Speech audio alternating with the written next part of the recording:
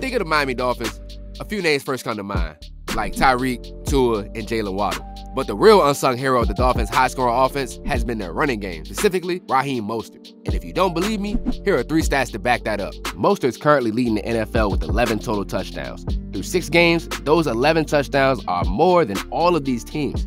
Having more touchdowns than entire teams is crazy. But what's even crazier is that Mostert has more touchdowns than all of these running backs combined. And don't forget, the other Dolphins running back De'Von Achane has seven of his own touchdowns, which means Mostert's totals could have been even higher.